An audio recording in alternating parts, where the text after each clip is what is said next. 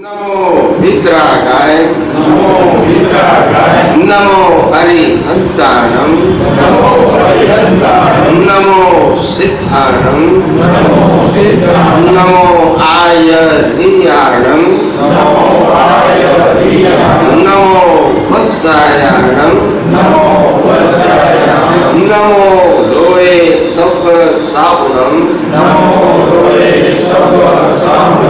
સર્વ સામ્યમ એસો પંચ નમકારો. એસો પંચ નમકારો. સવ પાભપણાસણો સર્વ પાવપણાસણો મંગલાનંચ સભ્ય સિંહ મંગલાનંદ સર્વે શ્રી પરમમ હવૈ મંગલમ. પરમં હવૈ મંગલમ. ઓમ નમો ભગવતે વાસુદેવાય ઓમ નમો ભગવતે વાસુદેવાય ઓમ નમઃ શિવાય ઓમ નમઃ શિવાય જય સચ્ચિદાનંદ જય સચ્ચિદાનંદ પ્રત્યક્ષ દાદા ભગવાનની સાક્ષીએ પ્રત્યક્ષ દાદા ભગવાનની સાક્ષીએ વર્તમાને મહાવીરે ક્ષેત્રમાં વિચરતા વર્તમાને મહાવીર ક્ષેત્રમાં વિચરતા તીર્થંકર ભગવાન શ્રી સિમંદર સ્વામીને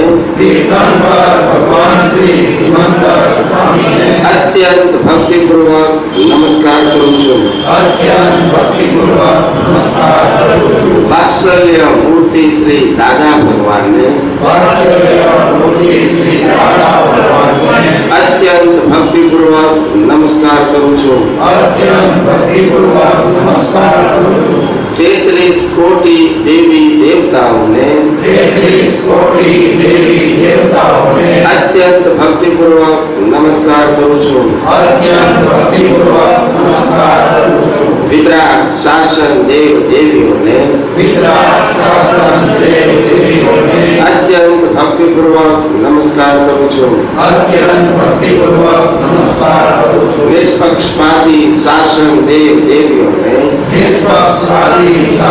દેવ દેવીઓને અત્યંત ભક્તિપૂર્વક નમસ્કાર કરું છું અત્યંત ભક્તિપૂર્વક નમસ્કાર કરું છું આ ક્ષેત્રના રક્ષક દેવી દેવતાઓને આ ક્ષેત્રના રક્ષક દેવી દેવતાઓને અત્યંત ભક્તિપૂર્વક નમસ્કાર કરું છું. અત્યંત ભક્તિપૂર્વક નમસ્કાર કરું છું. આખા બ્રહ્માંડના જીવ માત્રના દેવ સ્વરૂપને આખા બ્રહ્માંડના જીવ માત્રના દેવ સ્વરૂપને અત્યંત ભક્તિપૂર્વક નમસ્કાર કરું છું. અત્યંત ભક્તિપૂર્વક નમસ્કાર કરું છું. જગત ભરના સંત પુરુષોનું યોગ બળ. જગતભરના સંત પુરુષોનું યોગ જગત ભરના સત પુરુષોનું યોગ બળ.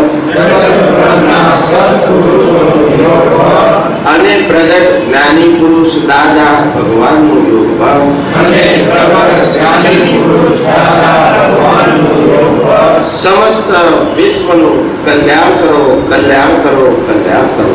સમસ્ત વિશ્વનું કલ્યાણ કરો કલ્યાણ કરો અને કલ્યાણ કરવાનું નિમિત્ત બનવાની અને કલ્યાણ કરવાનું નિમિત્ત કરવાની આમ સૌ મહાત્માઓને આમ સૌ મહાત્માઓને પરમ શક્તિ આપો શક્તિ આપો શક્તિ આપો પરમ શક્તિ આપો શક્તિ આપો શક્તિ આપો જગતના સર્વ જીવો સુખ અને શાંતિને પામો જગતના સર્વ જીવો સુખ અને શાંતિને પામો જગતના સર્વ જીવો સમાધાનને પામો જગતના સર્વ જીવો સમાધાનને પામો જગતના સર્વ જીવો મોક્ષને પામો જગતના સર્વ જીવો મોક્ષને પામો જગત કલ્યાણ હો જગત કલ્યાણ હો જગત કલ્યાણ હો જગત કલ્યાણ હો જગત કલ્યાણ હો જગત કલ્યાણ હો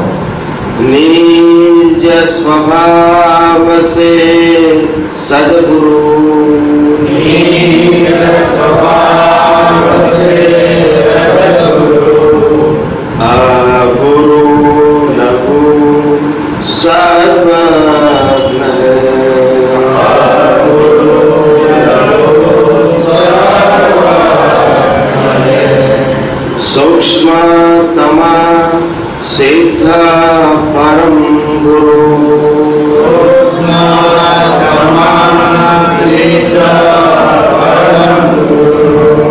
સત્યમ નિશ્ચય વંદે સત્યમ નિશ્ચય વંદે તેત્રીસ કોટી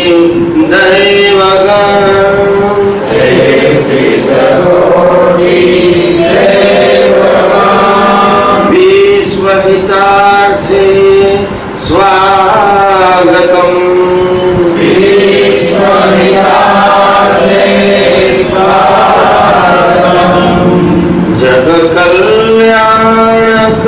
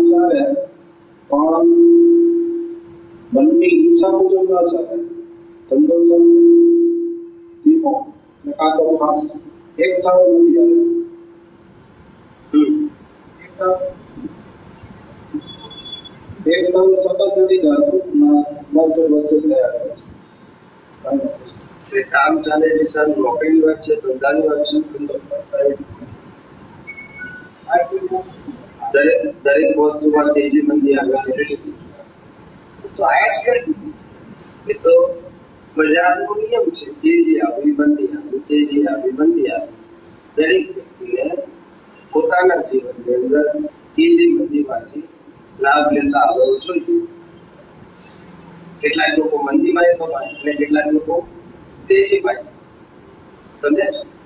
એટલે આપણે બિઝનેસ કઈ રીતે કરવો છે એના ઉપર આધાર છે. અને બિઝનેસની ઘર સાફવી પર કેટલી કેવી છે એના ઉપર આધાર છે. છતાંય પુણ્ય મોટો ભાગ ભજવે છે. શું છે? પુણ્ય. મોટો ભાગ. પુણ્ય હોય બધું પાછું પડે. શું છે? એટલે પુણ્ય ના મહેનત તો જીવનમાં કરવાની પણ સફળતા કે નિષ્ફળતા એ પુણ્ય એટલે આપણને જીવનમાં શું છે એ આપણને ખબર નથી. એટલે સફળતા કે નિષ્ફળતા આપણને ખબર નથી. પણ સિન્સિયરલી મહેનત કરવી જોઈએ. સમજાય છે? માણસ આનાથી વિશેષ શું કરી શકે? જે આપણી સ્વતંત્રતા છે, જે આપણી કેપેસિટી છે, એ મુજબ પ્રયત્ન કરીશું. શું કરવાનું? આજે કોઈ માણસ બીમાર હોય, તો ડોક્ટર શું કરે? ગેરંટી આપે? પ્રયત્ન જ કરે છેવટે એમ જ કે બીમાર છેલ્લે તો ઈશ્વર ઉપર છે. શું છે? એટલે એમને ઈશ્વર શબ્દ મૂક્યો. અને આપણે કર્મ શબ્દ મૂક્યો છે. શું છે? ઈશ્વર કશું કરતો એટલે આપણા કર્મ ઉપર આપણને ફળ મળે છે. પણ પ્રયત્ન થાય એટલું કરી ચૂકો એટલે હું જે ક્લાસીસ ચલાવું છું હવે આપણે દાદા એમ હું એ કીધું ચાલે. ઈ તો મનમાં બેસે છે. મને એવું લાગે કે હું છે ને નીતિથી ચાલું છું. કોઈ દી છોકરા પાસેથી કોઈ દી ખોટી રીતે કાંઈ લેતો નથી. બરોબર? અને કાયદેસર ભણાવવાનું. સમ- ખોટી રીતે રજા નહીં કે કોઈ ભણાવવામાં પચાસથી રાખવાની નીતિથી જી. અને સરસ ચાલે છે. કોઈ જો સારું એના કરતા ઘણું સારું ચાલે છે. એટલે આ નીતિથી ચાલે છે કે કોણીથી ચાલે છે? ખરી? પુણ્ય તો ખરી પણ પુણ્યની અંદર નીતિની ક્વોલિટી હોય એટલે આપણને બધું પોઝિટિવ થાય. શું થાય? પોઝિટિવ અને લક્ષ્મીની બરકત આવે. શું આવે? નીતિ વાળી લક્ષ્મી હોય એમાં બરકત આવે. અનીતિની લક્ષ્મીમાં બરકત આવે. પૂરની જેમ આવે અને પૂરની જેમ જતી રહેવી જોઈએ પણ મહેનતની લક્ષ્મી હોય ઈમાનદારીની લક્ષ્મી હોય ન્યાય નીતિની લક્ષ્મી હોય તો જરૂર એમાં બરકત આવે. શું આવે? એટલે ખરેખર એવું માને કે આટલું બધું હોય છે ત્યાં જેવા ઘણું બધું બેસ્ટ રીતે બધું આવે છે. કે મને એવું લાગે કે મારા આટલું બધું જ્ઞાન છે મારું બધું સરસ થાય. એટલે દાદાની કૃપા હોય એવું લાગે છે. આપણે આપણે ચાલે છે સારું છે.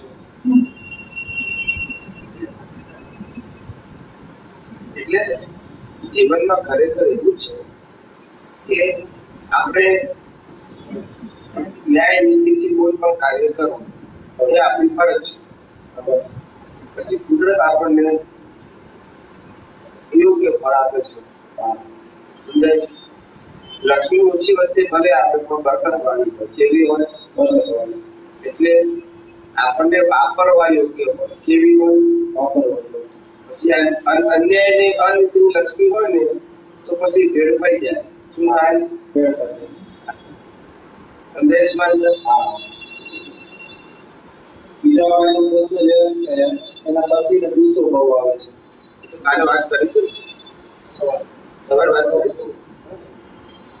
કોઈ પણ પ્રકારની નબળાઈ હોય એ નબળાઈ કાઢવા માટેનો નબળાઈ કાઢવા માટેનો કોઈ પણ નબળાઈ હોય એને કાઢવાનો ઉપાય મેં સવારે બતાવ્યો બપોરે બતાવ્યો કે કોઈ પણ પ્રકારની નબળાઈ કાઢવી હોય, તો પહેલા નબળાઈને નબળાઈ તરીકે સ્વીકાર. શું કીધું? ત્યાર પછી એ નબળાઈ જ્યારે આપણા જીવનમાં ઉદ્ભવે, ત્યારે એની હાર્દિલી માફી માંગો. અને ત્રીજું જેની માફી માંગી છે, એ વારંવાર પૂરું ન કરવું એવો દ્રઢ નિશ્ચય કરવો કે હે પરમાત્મા, આપ મને શક્તિ આપો. આ કોઈ પણ નબળાઈનો કાયમી ઉકેલ છે. શું છે? કોઈ પણ પ્રકારની નબળાઈ આપણા જીવનમાં હોય, એનો ઉકેલ લાવવો હોય તો આ સોલ્યુશન છે. ભૂલને ભૂલ તરીકે સ્વીકાર કરો. ભૂલ થાય ત્યારે માફી માંગો અને ફરીથી આવી ભૂલ ન કરો એવો નિશ્ચય કરી અને પરમાત્મા પાસે શક્તિ. બસ આ સીધો સાદો રસ્તો છે. કોઈ પણ પ્રકારની સહજતા. સહજતા એટલે માણસ એટિકેટ વગરનો હોય જેમ છે તેમ સામાન્ય ભાવ કરતો હોય કોઈ શો ઓફ ના કરતો હોય શું ના કરતો હોય દેખાડો ના કરતો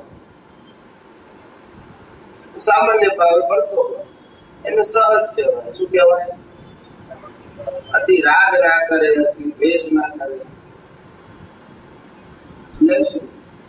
એવું સામાન્ય ભાવે જીવતું એને સહજ કહેવાય. શું કહેવાય? અને આત્મા મારે એને સહજ કહેવાય. આ પ્રકૃતિની વાત. શું થયું આત્મા મારે એની આ પ્રકૃતિ અડે નહીં, એટલે સહજ કહેવાય. શું કહેવાય? બહાર લડાઈઓ લડતો હોય તો અંદર સહજ હોય. પણ એ જ્ઞાને કરીને સહજ છે. કેવું છે? અને પ્રકૃતિ સરળ હોવી ખ્યાલ આવ્યો? એ જ્ઞાને કરીને છે, એ વ્યવહારે કરીને છે. શેના કરીને છે? એટલે એ સરળતા લઈને આવ્યો છે.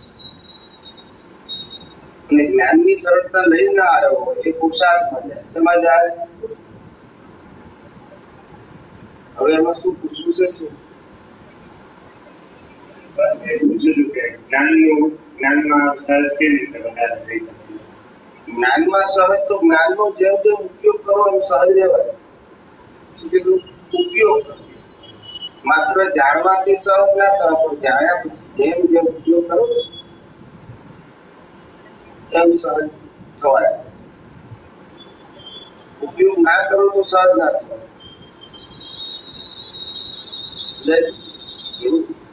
જ્ઞાન ઉપયોગ કરવા માટે છે શેના માટે છે ઉપયોગ ના કરો તો એ જ્ઞાન પછી શબ્દ જ્ઞાન કહેવાય શું કહેવાય એ શબ્દ જ્ઞાન નો લાભ ના થાય મગજમાં છે એટલું ફેર પડે જે ચોપડીમાં છે એ મગજમાં છે બસ પ્રેક્ટિકલ પ્રેક્ટિકલ હોય તો જ જ્ઞાન કહેવાય નહીં તો શુષ્ક જ્ઞાન કહેવાય શું કહેવાય શ્રીમદ રાજચંદ્રે કહ્યું ને કોઈ ક્રિયા થઈ ગયા શુષ્ક જ્ઞાનમાં કોઈ માને માર્ગ મોક્ષનો કરુણા ઉપજે છે. જ્ઞાનનો? દ્રષ્ટિથી હું કોઈને દોષિત જોઉં છું કઈ રીતે જોઉં છું? બોલી જોઉં છું કે દ્રષ્ટિથી? તો નિર્દોષ કઈ રીતે જોવાનું? દ્રષ્ટિથી. પુરુષાર્થ એક જ પ્રકાર માધ્યમથી હોય ને? જેનાથી અજ્ઞાનનો ઉપયોગ થાય છે, એનાથી જ્ઞાનનો ઉપયોગ કરવાનો અજ્ઞાનના ઉપયોગથી સંસાર ચાલ્યા કરે જ્ઞાનના ઉપયોગથી સંસાર સમાપ્ત થાય ઉપયોગ કરનારો અજ્ઞાન? કર્મ બાંધનારો પુરુષાર્થ કરનારો એક જ હોય. અજ્ઞાન અવસ્થામાં તે હોય અને જ્ઞાન અવસ્થામાં તે જ હોય. બંને વખતે દ્રષ્ટિ ખાલી જુદી હોય.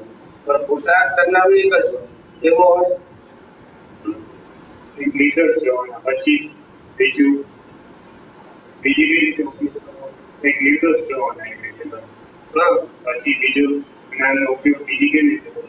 જ્ઞાનનો ઉપયોગ બે રીતે કરવાનો કે હું પોતે શુદ્ધાત્મા છું અને જીવ માત્રમાં શુદ્ધાત્મા દેખાવા જોઈએ એ પહેલો.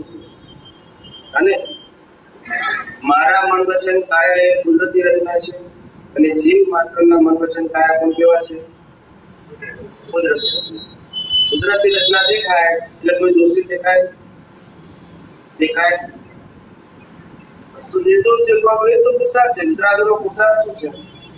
માત્ર જીવ માત્ર મિત્ર પરમાત્મા લોકો?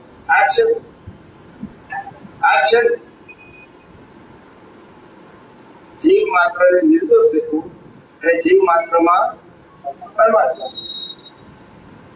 ખબર પડે છે કે નિર્દોષ છે ને છે. પણ અનુભવમાં કેવી રીતે અનુભવમાં લાવવાનું એટલે કે આપણે આ વિજ્ઞાન ગોઠવ ગોઠવ કરીએ એટલે આપણને ખ્યાલ આવે કે એ સ્વતંત્ર કરતા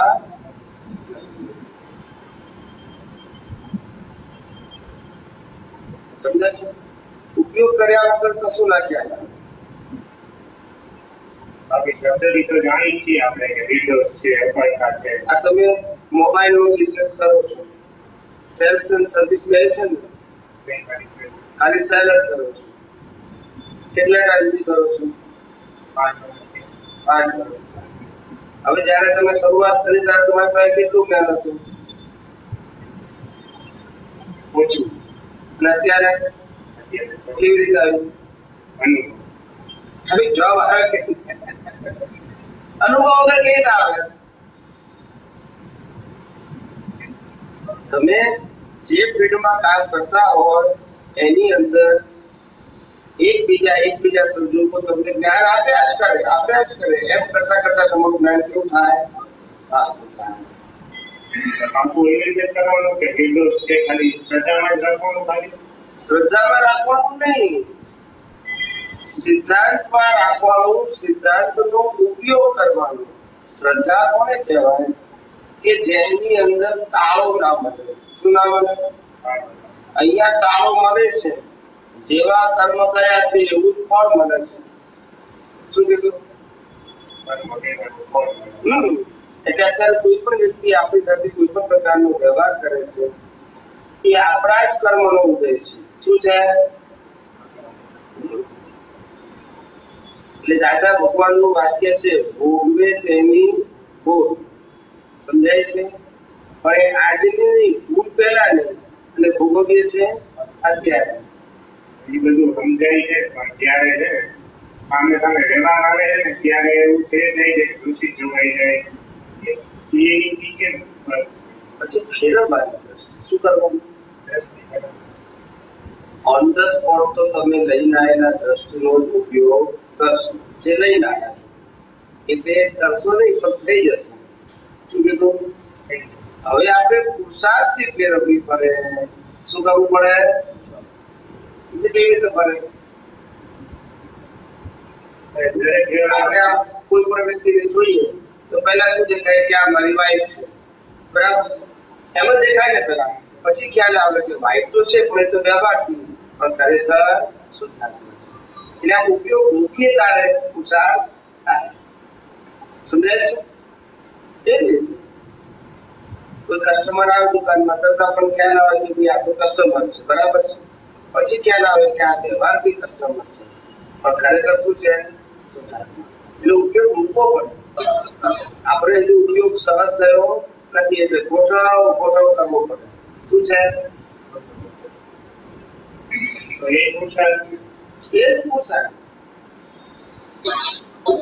બીજો પુરુષાર્થ કયો હોય? આખા જગતની દોષિત જોઈએ છે, એ તો પુરુષાર્થ છે, અત્યારે ભટકીએ છીએ. બોલતા દોષિત જોઈએ છે, એટલે ભટકીએ છીએ. નિર્દોષ જોઈએ તો ભટકવાનું બંધ થઈ જાય. એમાં ચમત્કાર ક્યાં આવે? ચમત્કાર આવે. સમજાય છે? પણ પછી આ ના સમજાય. એટલે ધીમે ધીમે પછી એક એક વસ્તુ ઉમેરાય. હવે તમે આ મંત્ર બોલો, પછી આ ક્રિયા કરો, પછી આ પદ ગાઓ, પછી આમ કરો. એમ ધીમે ધીમે ઉમેરાય. કારણ કે તમને વિજ્ઞાન સમજાતું નથી, એટલે ક્રિયા બતાવો. શું બતાવે? સમજાય છે? વિજ્ઞાન તો પોપોલેટર છે, ના સમજાય. એટલે પછી બધી ક્રિયા. ક્રિયા કરો એટલે તમને સંતોષ થાય. શું થાય કે આ મેં આટલી ક્રિયા કરી નાખી આજનો દિવસ મારો સરસ ગયો સમજાય છે સત્સંગમાં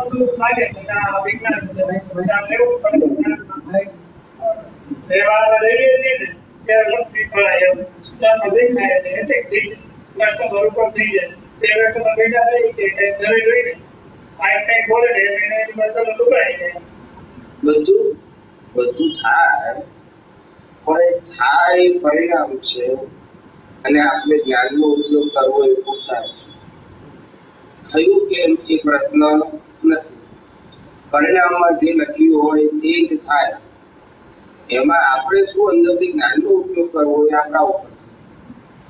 સંજોગોને બદલવું એ આપણો પુરુષાર્થ નથી. સમજાય છે? મનમાં વિચાર આવે. વાણી બોલાય કે વર્તન થાય. એને બદલવાનું સામર્થ્ય આપણું નથી. એ જે સંજોગ આવ્યો મનનો, વાણીનો કે કાયાનો એને કઈ દ્રષ્ટિથી જોવો, ત્યાં આપણો પ્રસાદ છે. એને દોષિત જોવો કે નિર્દોષ એને કરતા જોવો કે અકર્તા એ આપણા પણ મન વચન કાયાનો પુરુષાર્થ આપણા હાથમાં સમજાય? એટલે ગમે તે થઈ જાય. પણ દ્રષ્ટિ બદલો. શું બદલવાનું ગુસ્સો થઈ ગયો. દ્રષ્ટિ બદલો. શું બદલવાનું? આપણે ગુસ્સો થઈ ગયો કોઈના ઉપર, પછી શું કરવાનું? તો કે આ જે ગુસ્સો થઈ ગયો તે કોણાથી થયો? હા. અને આપણે કોણ છે? શુદ્ધાત્મા છે. હવે ફાઇલ નંબર એક ને એકે ગુસ્સો કર્યો સામે વાળી વ્યક્તિ પછી ફાઇલ નંબર એક ને કેવું કે ભાઈ, તમે આ ગુસ્સો કર્યો છે, એ સારું વર્તન કહેવાય માટે તમે માફી માંગી લો. શું કરો? હા, કે સામે વાળા વ્યક્તિ ની સાથે જે વ્યવહાર થઈ ગયો, એ ઉચિત નથી. માટે આવી પ્રકૃતિ મારી હોવી ઘટે નહીં. કારણ કે આ ટાઈપની પ્રકૃતિ એ મોક્ષ માર્ગ માટે લાયક અને સહાયક નથી. સમજી ગયા? બસ. એ તમારું કામ પતી આપણે એવું નહીં કહેવાનું કે ભાઈ હું ગુનો કેટલી વખત કરું છું. શું કીધું? તમે માફી કેટલી વખત માંગો છો એ મહત્વનું છે. ગુનો કેટલી વખત કરો છે મહત્વનું નથી. કારણ કે ગુનો કરવો કે ના કરવો એ તમારા હાથમાં છે જ નહીં. પણ માફી માંગવી કે નહીં એ તમારા હાથમાં છે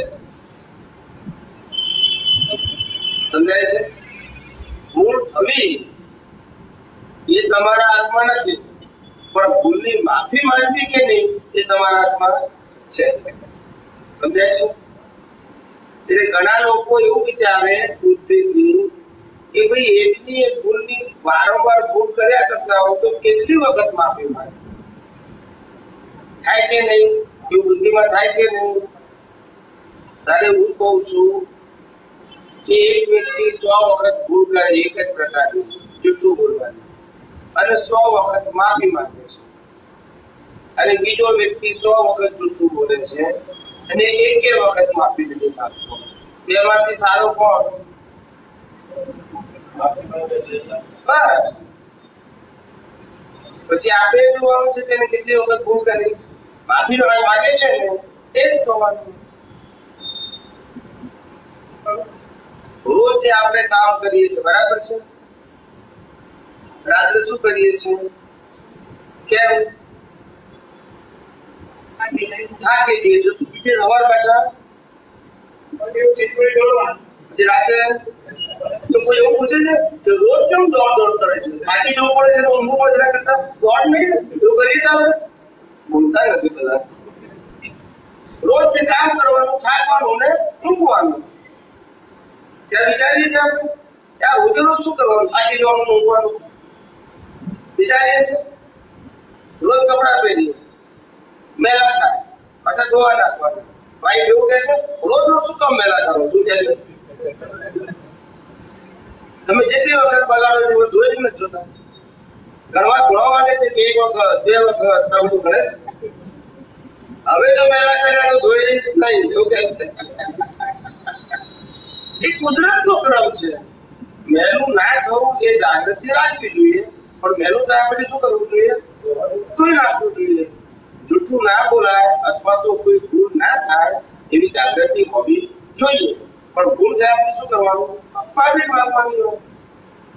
પછી કે ના, આ તો પચાસમી વખત ભૂલ થઈ ને, એટલે માફી માંગવી નથી હવે. સમજાય છે? એટલે દરેક વસ્તુમાં આપણે ગણવાનું નથી કે કેટલી વખત ભૂલ કરી પણ જેટલી વખત ભૂલ થઈ, એ ભૂલનો સ્વીકાર કરીને આપણે માફી માંગી કે નહીં, એ મહત્વનું છે. કારણ કે આપણે જેટલી વખત બીજ નાખ્યા હશે, એટલી વખત ફળ આવશે. સો વખત બીજ નાખ્યા તો સો વખત ફળ ના આવે? પછી આપણે કે ભઈ આટલી બધી વખત કેમ ભૂલ કરે છે? હવે કરે હું બીજું એના હાથમાં નથી. સમજાય છે? આપણને બધાને ખબર છે કે નહીં? કે જૂઠું બોલવું એ પાપ છે. એ નથી નથી ખબર. બોલો. ખબર છે કે નહીં? ખબર છે કે નહીં? અને તોય આસાની જૂઠું બોલીએ છે ને જીવનમાં.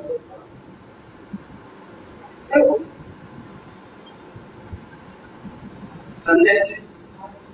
એટલે જ્ઞાન હોવું એટલે એવું ને જ્ઞાન હોય એટલે જૂઠું ના બોલીએ. ટૂંકમાં ભૂલ ના થાય. ભૂલ તો થવાની. પણ માફી માંગવી એ આપણો પુરુષાર્થ છે. શું છે?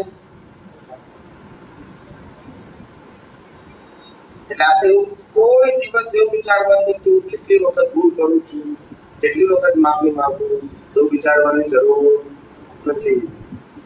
ખ્યાલ આવે ને? જેટલી વખત વાળ વધે એટલી વખત કપાવવાનું બોલતા નથી. જેટલી વખત દાઢી વધે એટલી વખત વર્ષમાં એક જ વખત કરવાનું.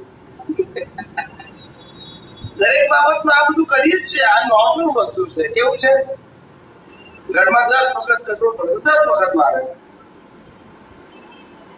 સમજાય છે? પણ આ બધી વસ્તુ આપણે ટેવાયેલા નથી. આ બધી સમજણથી ટેવાયા નથી. એટલે આપણને લાગે છે કે આવું રોજ કેટલી વખત? રોજ રોજ કરવાનું હોતું નથી. તો ભૂલ થાય એટલી વખત જાગૃતિનો ઉપયોગ કરવાનો. ભૂલ ના થાય તો નથી કરવાનું.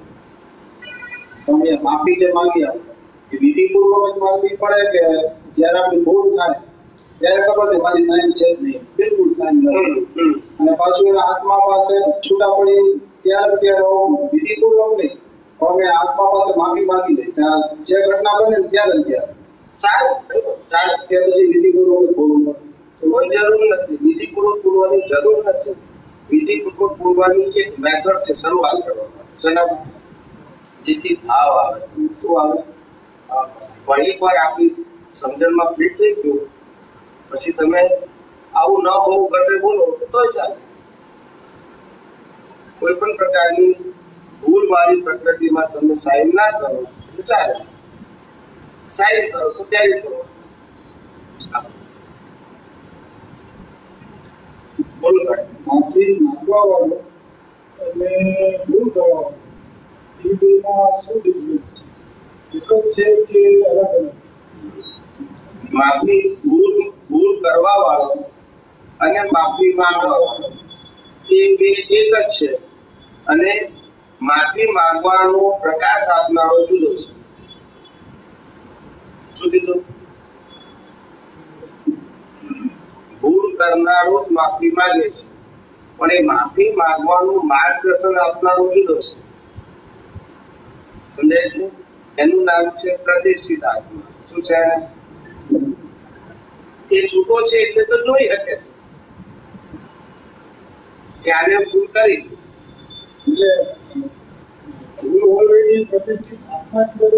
ના પ્રકૃતિ કરે છે.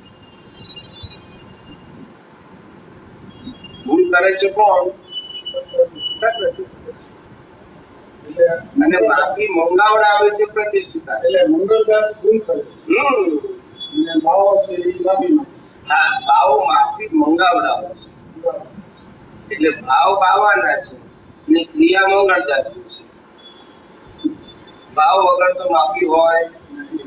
માફી એ ક્રિયા નથી. પણ આ મંગળદાસ વાણીથી બોલે અને પ્રતિષ્ઠિત આત્માનો ભાવ કે આવું ન હોવું ઘટે એ ભાવ છે ને શબ્દથી આ બોલે. સાક્ષી. એટલે પ્રકાશ.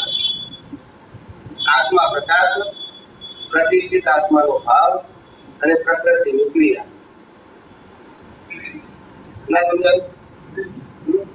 સીધું સાધુ છે કઈ જગ્યાએ ગોળ ગોળ નથી. અમે છેલ્લા દી વર્ષથી બોલીએ છીએ કશું ગોળ ગોળ ના હોય ક્લિયર કટ હોય કેવું હોય તમને કેટલી વાર સમજતા વાર લાગે પણ એટલે ઘણી વાર એવું લાગે કે મંગળદાસ છે એ તો ઓલરેડી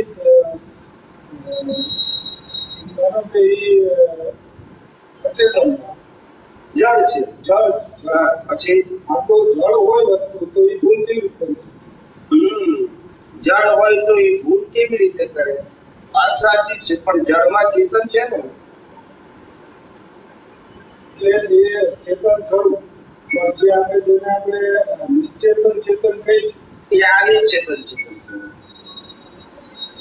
આ શરીરને નિશ્ચેતન ચેતન પ્રતિષ્ઠિત આત્માને મિશ્ર ચેતન અને આત્માને શુદ્ધ ચેતન સમજી ગયા? ત્રણ ભૂલી ગયો ભૂલી જાઓ આને શું કહેવાય? પ્રતિષ્ઠિત આત્માને મિશ્ર ચેતન અને મૂળ આત્માને શું સમજી ગયા? તેની કેટેગરી જ અલગ છે. આ મિકેનિકલ ચેતન છે કેવું છે? એટલે આ આપણું આખું જીવન છે ને, એની કેસેટ ઉતરી ગઈ છે. શું છે? હવે ખાલી પ્લે થાય છે ટાઈમ પ્રમાણે. શું થાય છે? એમાં કશું ફેરફાર થાય નહીં. અમિતાભ બચ્ચને પોતાનું પિક્ચર જોઈ શકે પણ ફેરફાર ના કરી શકે બોલતા નથી. આપણે પિક્ચર જોઈ શકીએ, બદલી ના શકીએ. બદલી શકીએ ભાવ, પણ પિક્ચર ને ના બદલી શકીએ. પિક્ચર એટલા ભરોચન કાય જે કરે ને એને ના બદલી શકાય. ભાવ બદલી શકે શું બદલી શકાય? એટલે આ આ મનોરંજન કાયા રૂપી જે મંગળદાસ છે, એની તો ડિઝાઇન જન્મથી મોત સુધી ફિક્સ થઈ ગઈ છે. કેવી થઈ ગઈ છે? ને એક પ્રમાણે ચાલ્યા છે. એમાં આપણું કશું ચાલે? લોકો મંગળદાસ ને બદલવા પ્રયત્ન કરે છે. શું કરે છે? બદલાય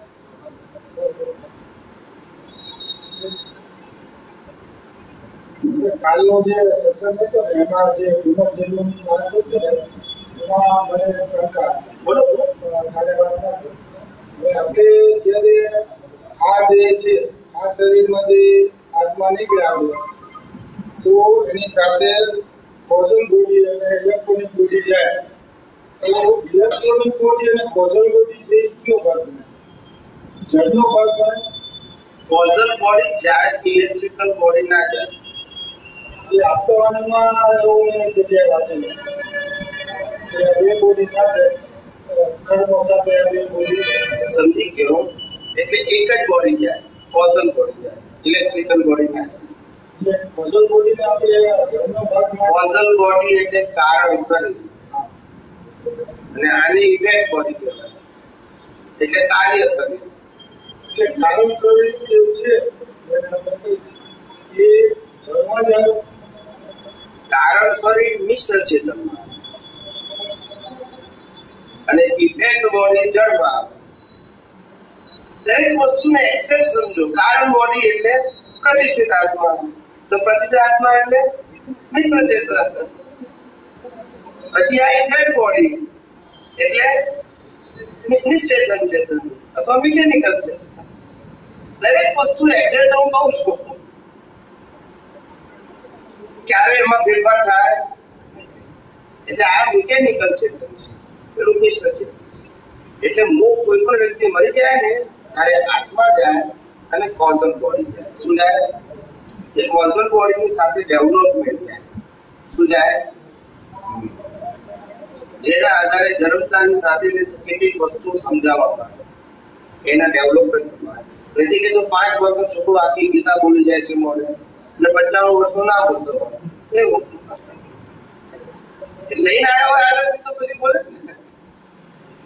ના એ પાંચ વર્ષનો છોકરો તૈયાર થયો નથી કયા અવતારમાં તૈયાર થઈને આવ્યો છે એટલે બોલે છે એ આજે તૈયારી કરી. સમજાય? પણ ઇલેક્ટ્રિકલ બોડીના શું ના હોય એટલે દરેક વસ્તુ તમે સિદ્ધાંતથી સમજો. ભલે કોઈ જગ્યાએ લખાયું છે, છપાયું છે, આપણે આપણે એ સબ્જેક્ટને અત્યારે બાજુ રાખીશું આપણું કામ કોઈ પણ વસ્તુ લખાણમાં આવી છે, એની ટીકા ટિપ્પણી કરવાનું નથી. પણ આપણે કોઈ પણ વસ્તુને સાયન્ટિફિક સમજી લીધું. શું સમજી લઈએ. પછી ક્યાં શું લખ્યું છે, એ આપણો સબ્જેક્ટ નથી. એ કયા કારણસર કઈ વ્યક્તિને કહેવા મત લખ્યું છે, એ આપણને ખબર નથી. માટે આપણે સાયન્ટિફિક સમજી કે મરી જાય કોઈ પણ વ્યક્તિનો ડેથ થાય, ત્યારે આત્મા જાય, કોઝલ બોડી જાય અને ડેવલપમેન્ટ જાય. શું જાય? અને ઇલેક્ટ્રિકલ બોડી છે, એનો શું રોલ છે? રોલ સમજો ને તમને ખ્યાલ આવશે. ઇલેક્ટ્રિકલ બોડી એટલે કે આ શરીરમાં શ્વાસોશ્વાસની પ્રક્રિયા ચાલે બ્લડ સર્ક્યુલેશનની પ્રક્રિયા ચાલે અને ડાયજેસ્ટિવની પ્રક્રિયા ચાલે. આ ત્રણ એના રોલ છે. એટલે મારા જીવતો હોય ત્યારે શરીર કેવું હોય? એટલે મળી જાય તારે. એટલે ઇલેક્ટ્રિકલ બોડી હવે એને ઇલેક્ટ્રિક બોડી જરૂર નથી. હવે નવું બોડી મળશે, એમાં ઇલેક્ટ્રિકલ બોડી આવશે પાછું. આ ચલાવવા માટે. સમજાય છે? એ સાથે ના જાય. સમજાય છે? એટલે એ શરીરને ચલાવવા માટે એ તમે ઇલેક્ટ્રિકલ બોડી આવે. આવે એટલે ઊભું થાય. એને જેમ જેમ પોષણ મળે એમ શ્વાસની પ્રક્રિયા લોહી બનવાની પ્રક્રિયા પાચનની પ્રક્રિયા આ બધા માટે ઇલેક્ટ્રિકલ બોડી જોઈએ. સમજાય છે? એટલે પછી મર્યા પછી ના જોઈએ. પછી જન્મ થાય ત્યારે મળે પાછું. આ જ બધી પ્રક્રિયામાં ટોટલ બોડી નહીં આપણું આપણને પહેલેથી જ મળેલું હોય શરૂઆતથી જન્મતાની હાથે જ હોય. એના આધારે જ આપણો જન્મ થાય.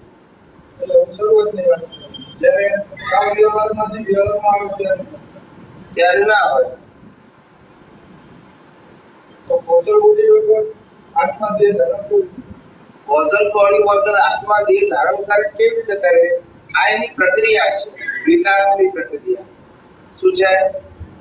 પહેલા ઇન્દ્રિય જ્ઞાનનો વિકાસ થાય છે શું થાય છે એક ઇન્દ્રિય બે ઇન્દ્રિય ત્રણ ઇન્દ્રિય ચાર ઇન્દ્રિય પાંચ ઇન્દ્રિય એમ ઇન્દ્રિય જ્ઞાનનો વિકાસ થાય છે, વ્યવહાર રાશિમાં શું થાય છે? આ બધા જીવોને આ પ્રક્રિયામાંથી પસાર થવું પડે. એમાં કોઈ અપવાદ ના પછી મનુષ્યમાં આવે. શેમાં આવે? મનુષ્યમાં આવે ત્યારે બુદ્ધિ મળે. શું મળે? પેલામાં બુદ્ધિ ના હોય પાંચ ઇન્દ્રિયો હોય પણ બુદ્ધિ ના હોય. એને સંજ્ઞાથી જીવન ચાલે. આહાર, ભય મૈથુન નિદ્રા. આ ચાર પ્રકારની સંજ્ઞાથી પ્રાણીઓનું જીવન હોય. મનુષ્યમાં આવે ત્યારે સંજ્ઞા પ્લસ બુદ્ધિ. શું છે? બુદ્ધિ એટલે પછી અનલિમિટેડ ઈચ્છા કેવી? અને સંજ્ઞા એટલે લિમિટેડ ઈચ્છાઓ. ભૂખ લાગે, એટલે ગમે ત્યાંથી ખોળે. અને ભૂખ ભૂખ સમી જાય એ સાથે ઊંઘી જાય. આજે હું થશે એની ચિંતા ના હોય. બોલતા નથી. અને મનુષ્યને છ મહિના સુધીની આઠ પેઢી સુધીની ચિંતા કરે કે મારા છોકરાના છોકરાના છોકરાનો છોકરો શું કરશે એની અત્યારથી ચિંતા કરે બુદ્ધિ છે ને શું છે હમ એટલે કોઝલ બોડીનો ડેવલપ મનુષ્યમાં આવ્યા પછી જ થાય છે કોઝલ બોડી મનુષ્યમાં આવે પહેલા કોઝલ બોડી હોય ખરી પણ એ કેવી કોઝલ બોડી હોય? જેમાં તમારી પાસે કર્મ કરવાની સ્વતંત્રતા નથી. એટલે સ્વાભાવિક કર્મ બંધાય. કેવા બંધાય? ધારો કે તમે ગુલાબનો છોડ છો કે રીતે? બરાબર છે? એ છોડને કોઈ તોડે, એટલે એનું પુણ્ય તમને અને તમારું એ રીતે ડેવલપમેન્ટ થાય. ગુલાબના છોડ. સમજાય છે? તમને કોઈ ભોગ મોટી માટલીને નાની માટલી કહી, નાની માટલીને મોટી માટલી કહી જાય. એટલે આવી રીતે એનું ડેવલપમેન્ટ થાય. કોઈ પણ મનુષ્ય ભોગવે ને, એટલે એનું ડેવલપમેન્ટ થાય. શું થાય? જેની પાસે બેલેન્સ હોય, એમાંથી બેલેન્સ ટ્રાન્સફર થાય પેલા સમજાય છે? આવી રીતે બધું થાય. એટલે એ વખતે સ્વાભાવિક કર્મ છે, એની પાસે કર્મ બાંધવાની સ્વતંત્રતા નથી. પણ બંધાય છે સ્વાભાવિક.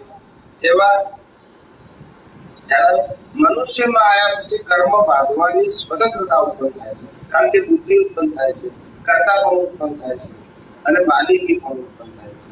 શું થાય છે? મનુષ્ય હોય અને ઘરમાં રહેતો હોય, એને કાઢી મૂકો તો શું થાય?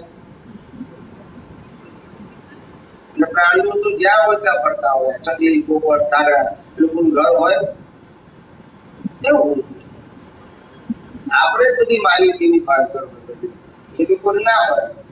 ગમે તે જાડી જાડી ઉપર રહે. રાત પાછું કરે પછી સવારે ઉડી જાય. સમજાય છે. એટલે બુદ્ધિ બુદ્ધિ આવે એટલે માલિકી પણ આવે. શું આવે? અને કરતા પણ આ મારું છે, આ મારું છે. સમજાય છે?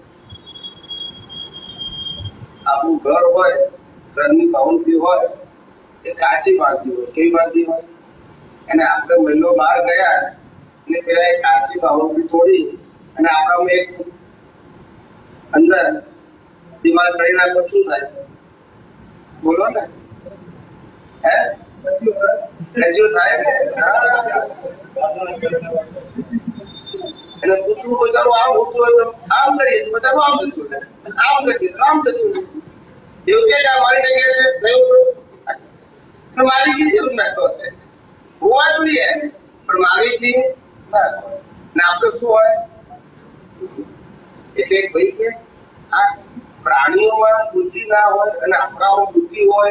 શું કે છે કેવી રીતે ખબર પડે?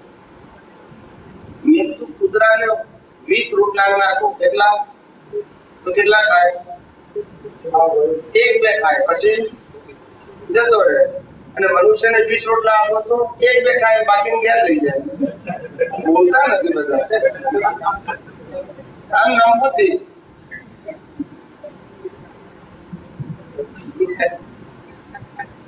આ બધું સમજણ પડવી જોઈએ. આ તો હું તમને બિલકુલ હળવી ભાષામાં આ બધું સમજાવું છું. તમે આગમ વાંચશો તો કઈ ગમ પડશે. વેદાંત વાંચશો તોય નહીં સમજણ પડે. હે?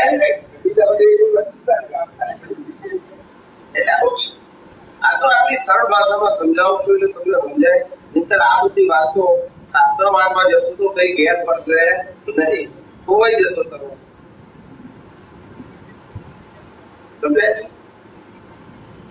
બધી બાબતો હું જે કહું છું ને, એવું શાસ્ત્રમાં લખેલું પણ નથી.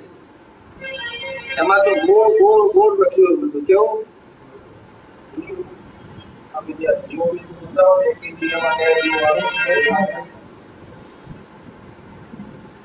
ઇન્દ્રિયમાં એક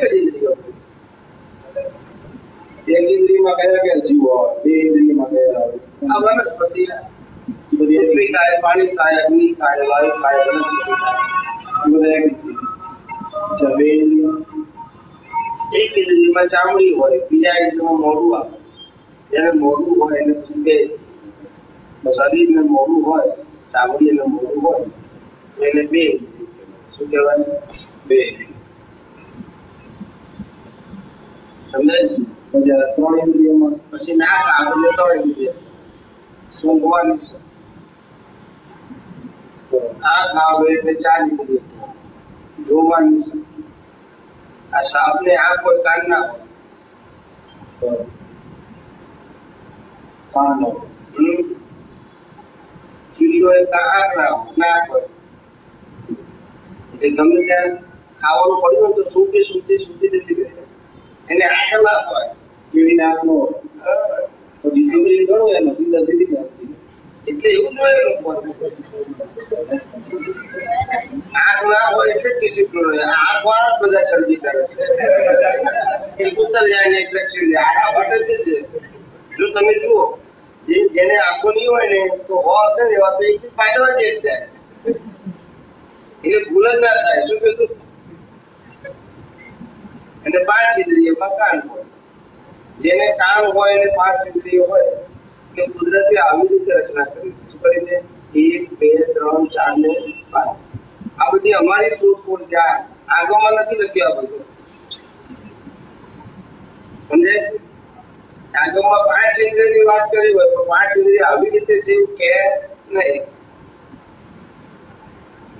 આ તો તમને યાદ રાખવાની સરળ રીત બતાવી દીધી. શું બતાવી દીધી? ભૂલાય નહીં એવી. કેવી? ગોખવાની જરૂર પડે? એટલે આવું જ્ઞાન આવું છે. એટલે આટલું જિંદગી આપણે જોયું ત્યારે આપણને બધું ખબર પડે. એટલું સરળ વિજ્ઞાન છે. એટલું સીધું સારું વિજ્ઞાન છે. ફક્ત એક વખત યથાર્થ રીતે સમજી લો. પછી આખી દુનિયામાં જ્યાં ફરવું હોય ત્યાં સમજાય છે? વિજ્ઞાન દ્રષ્ટિ હાથે રાખશો તો આ જગતમાં ફસાશો નહીં. વ્યવહાર દ્રષ્ટિ રાખશો તો ફસાશો. વ્યવહાર એટલે જ મારું તારું. શું કીધું? વિજ્ઞાન દ્રષ્ટિ એટલે મારું નહીં, તારું નહીં બેયનું હિસાબ જે છે તે. આપવાનું હોય તો હિસાબ અને લેવાનું છે તો હિસાબ. સમજાય છે? બધું હિસાબ, પછી ફરિયાદ શું હોય?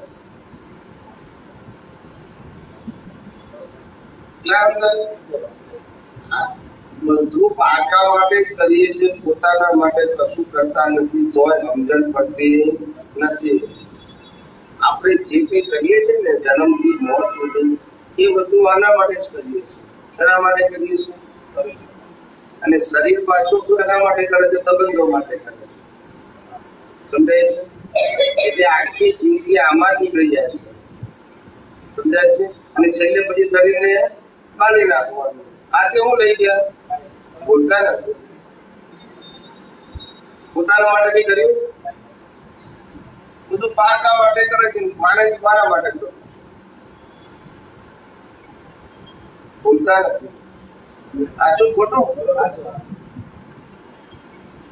આમ તો જ્ઞાનીઓ એવું કે છે અને ફિલોસોફરો એવું કે છે કે આમ તો ઘરથી સ્મશાન ફક્ત બે કિલોમીટર દૂર છે. કેટલું?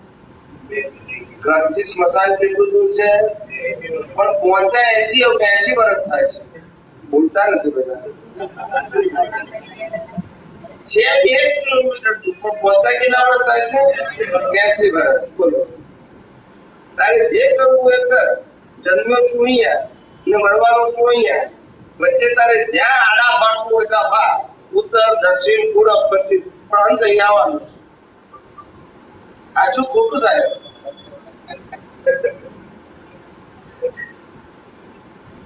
તારે દેશમાં જવું તો દેશમાં પણ વિદેશમાં જવું તો વિદેશમાં પણ પણ કિલોમીટર બે છે કાઢી બાકીના બધા કિલોમીટર તારું પરિભ્રમણ છે. શું છે?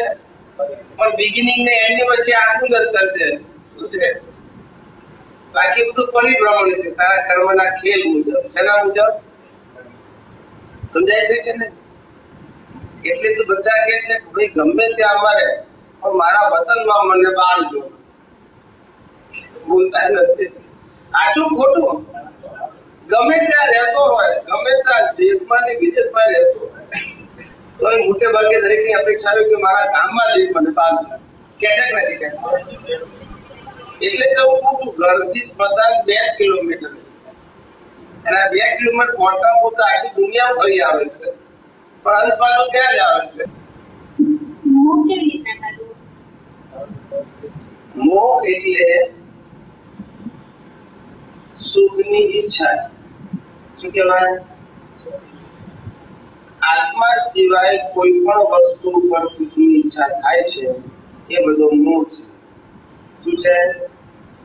આત્મા સિવાય કોઈ પણ વસ્તુ પર સુખની અપેક્ષા કે ઈચ્છા છે એ બધું શું છે? જેને પણ માનીએ છે માટે સમજાય છે? મને તો ઘણી વખત આશ્ચર્ય થાય એટલું બધું. આશ્ચર્ય. હું આમ બધું ઓબ્ઝર્વ કર્યા કરું ને, તો ઘણી વખત મને હસવું આવે કે આ દુનિયા કેવી છે. એક ભાઈ બચારા નોકરી કરતા હતા. પચીસ ત્રીસ હજાર રૂપિયાનો પગાર હતો. હસબન્ડભાઈ બે જણા શાંતિથી રહેતા હતા. એમાંથી બે માંથી પછી ચાર થયા. થોડો ખર્ચો વધ્યો. પણ એમાંથી થોડા થોડા પૈસા બચાયા. શું કર્યા? કે દસ વર્ષ સુધી પૈસા બચાયા. પછી હસબન્ડને કે હવે મને ડાયમંડ નો દાગીનો અપાવો. શું કે છે? કેવો દાગીનો? સાચા ડાયમંડ નો સોનાનો ખોટાનો નહીં. તે બીજી બધી બચત ક્યાં જતી રહી? દાગીનામાં જતી રહી. પછી દાગીનો લાયા. પછી શું કર્યો? પહેર્યો. પછી મેં કીધું, આ જોવે કોણ? તો કે બીજા મેં આ જવું પૈસા બચાવવાના આપણે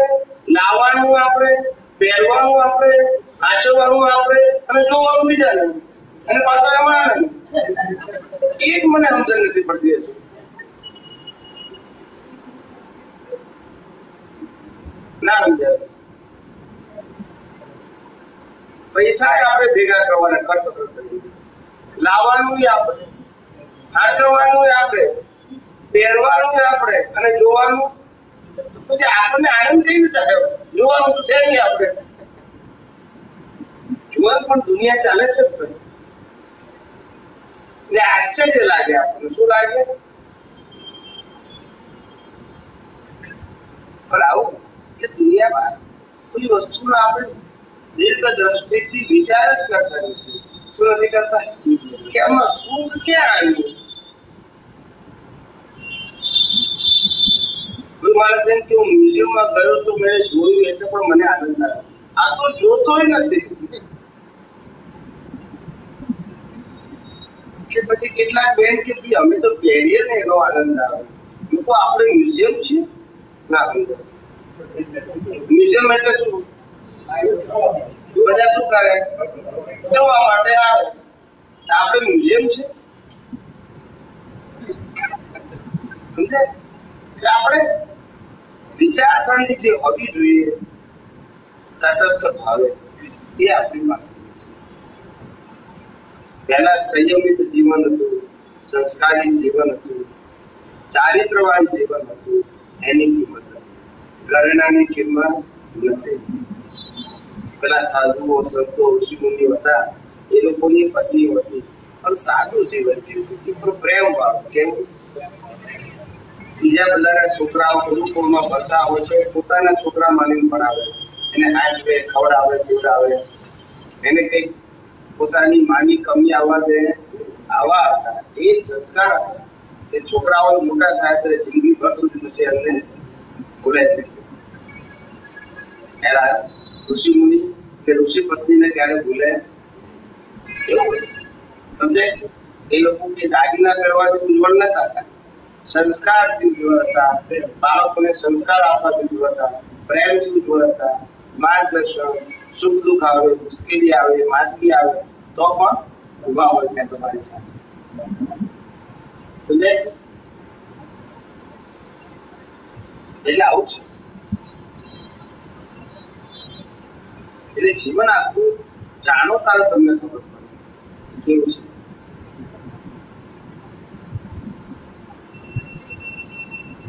એટલે આપણું આ જગતમાં તમને ઓબ્ઝર્વેશન કરતા આવડવું જોઈએ. તો બધું જ્ઞાન મળે એમ છે. પણ આપણે આ જગતને મોંથી જોઈએ છે. કેવી જોઈએ છે? સમજાય છે?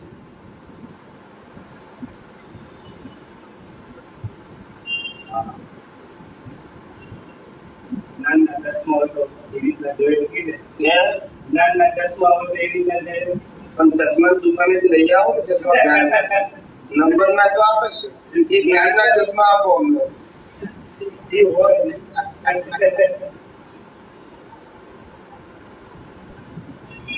અમે તો ફોરેનમાં જઈએ તો મોટા મોટા મોલ હોય, એક એક કિલોમીટર, દોઢ દોઢ કિલોમીટરના મોટા મોલ હોય. તો બધી વસ્તુ મળે એ ઝેડ પછી મહાત્માઓ બપોરે લઈ જાય એ લોકોને શોપિંગ કરવાનું હોય ને એટલે લઈ જાય. સત્સંગ તો સાંજે હોય. તે મોલમાં બધે ફરીએ બધું જોઈએ. આટલો મોટો મોલ હોય, હજારો વસ્તુ હોય. બધું જોઈએ. પછી એમનું શોપિંગ પતી જાય એટલે પછી કે સ્વામી, તમારે કશું જોઈતું નથી. મારે તો જે જોઈએ છે બધું લઈને આવ્યો છું. ટૂથપેસ્ટ જોઈએ, બ્રશ જોઈએ દાઢીનો સામાન જોઈએ, કપડાં જોઈએ, ટુવાલ જોઈએ નેપકિન જોઈએ, કાસ્કો જોઈએ. બધું છે મારી પાસે. બોલતા નથી બધા. બીજું લેવાનું શું મારે? તો કે ના કે આટલી બધી વસ્તુમાંથી તમને એકે પસંદ નથી. મેં કીધું, પસંદ નથી, જરૂરિયાત નથી. શું જોયું? કારણ કે અમે તો મોલમાં દાખલ થઈએ ને, એટલે અમારું અંદર પિક્ચર ફિક્સ થઈ જાય. કે આપણે મ્યુઝિયમમાં જઈએ છીએ. ક્યાં જઈએ છીએ? જોવાને, જાણવાનું, ખરું, લેવાનું નહીં. સમજાય છે? જરૂરિયાત નથી તો? તમારે જરૂરિયાત છે ને તમે લો છો એ બરાબર છે. અમારે છે, બાકી ઈચ્છાઓ તો બાર વગરની છે. કેટલી છે? એનો અંત આવે? એવું. એટલે ઈચ્છાઓનો પ્રશ્ન નથી. જરૂરિયાતનો પ્રશ્ન સમજાય છે? એટલે અમારે કપડા છે ઘણા સ્વામી બીજા નવા સીવડાવો નવા સુવડાવો મેં કીધું, પણ આને શું કરવાનું? આઠ દસ દસ વર્ષ થઈ ગયા એટલે એમ કે નવા સીવડાવો. મેં પણ જરૂર નથી કે એને પાકવા દો પછી સીવડાવીશું આપણે. સમજાય કપડાથી માણસ ઉજળો નથી. એ વ્યવહારમાં શરીર ઢાંકવાનું સાધન છે. માણસ જ્ઞાનથી ઉજળો છે, ચારિત્રથી ઉજળો છે, એની ભાવનાથી ઉજળો છે, એની માનવતાથી ઉજળો છે. એના સંસ્કારથી ઉજળો છે. કપડાથી ઉજળો નથી એ તો ડેકોરેશન કહેવાય. શું કહેવાય? આ ગાતા બપોરે પાંચ આઠ જે પાણી એનાથી સિત્તેર આટલા પડવાથી સીધા બોક્સી જવાય. પાંચ આઠ જીવનમાં એપ્લાય કરીએ ઉપયોગ પાંચ આજ્ઞા પાળવાથી મોક્ષે ના જવાય. પણ પુણ્યનું બંધી પુણ્ય બંધાય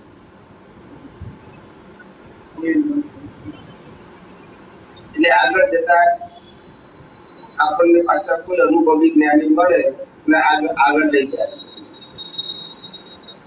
છેલ્લમ છેલ્લું વિજ્ઞાન સમજાવવું જોઈએ. ત્યાં સુધી નિવેડો નથી. ગમે એટલા તપ કરો, જપ કરો, ગમે તે કરો, પણ વિજ્ઞાન સમજવું પડશે. શું કીધું? દાદા ભગવાને પોતાના માટે કીધું. કે અમે આ દસ લાખ વર્ષ આ વ્યવસ્થિત શક્તિની શોધ માટે કર્યા. આત્મા માટે નહીં, પોતાની. વાંચ્યું છે કે નહીં? એ વ્યવસ્થિત શક્તિ એ જ કુદરતી કામ એ જ સનાતન સત્ય અને એ જ આખું સાયન્સ એ સમજાય તો બીજું કઈ કરવાની જરૂર નથી. એ ના સમજાય તો બધું કરવાની જરૂર છે. શું છે? આ બધું એ સમજવા માટે છે. શેના માટે છે?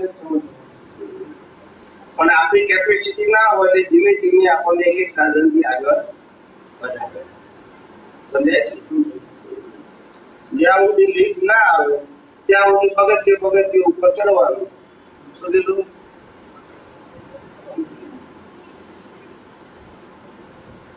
એટલે આ વિજ્ઞાન આવે ને, તો લિફ્ટમાં થઈ ગયા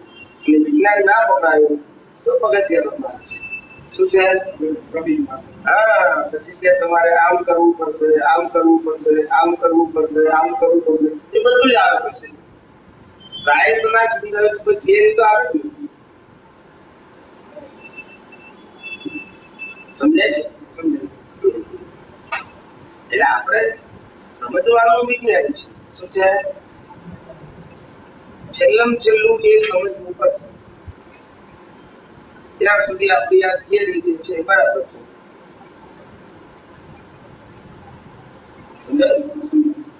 બીજું પૂછવું તો પૂછો.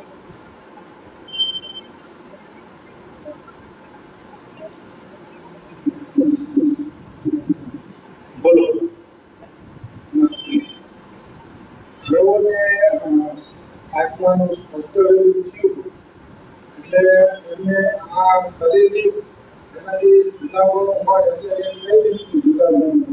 જેમ કે જ્યારે આ શરીર મૃત્યુ પામે અને આત્મા નીકળી એટલે જે અલગ થઈ જાય. એ શકે એ રીતે સ્પષ્ટ મિલન તો દેહની સાથે જ થાય. દેહ હોય ત્યારે જ એને સ્પષ્ટ મિલન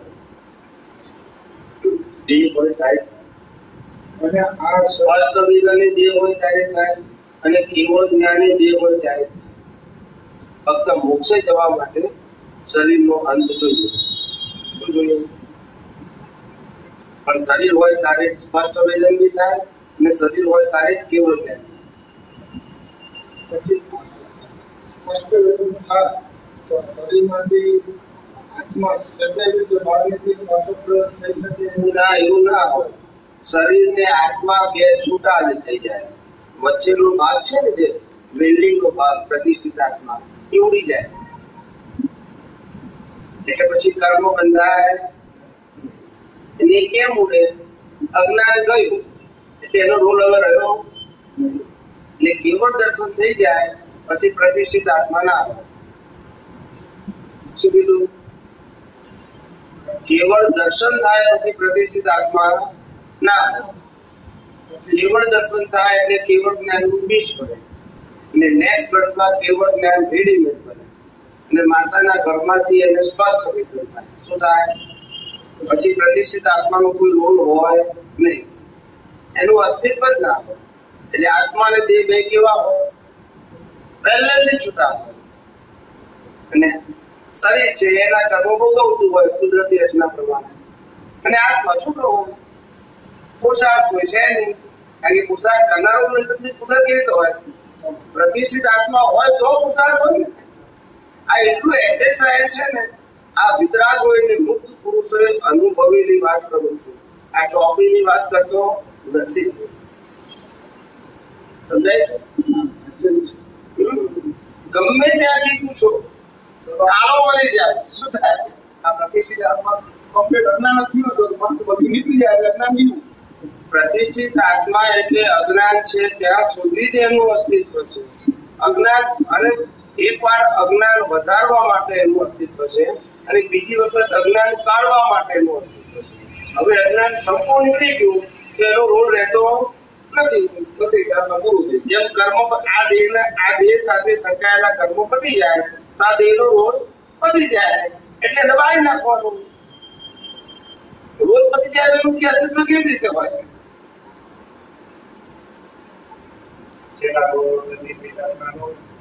કોઈને ના હોય. કેવડીને ના હોય ને તીર્થંકરને ના હોય. જેનો છેલ્લો અવતાર હોય એને પુરુષાર્થ ના હોય. કારણ કે પુરુષાર્થ કરનારો ના હોય તો પછી? આગલા કેવળ દર્શન થાય? પછી કેવળ ના એ કેવળ જ્ઞાનનું બીજ પડી જાય એ પણ ક્લિયર સમજાવો ને અજ્ઞાન જાય એટલે કેવળ જ્ઞાનનું બીજ પડી જાય. શું કીધું? પણ કેવળ જ્ઞાન ના જાય બીજ પડે બીજનું શું આવે.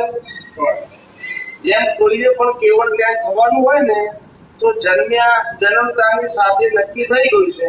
કે આ ભાઈને કયા સમયે કયા સ્થળે અને કઈ અવસ્થામાં કેવળ જ્ઞાન થવું છે નથી.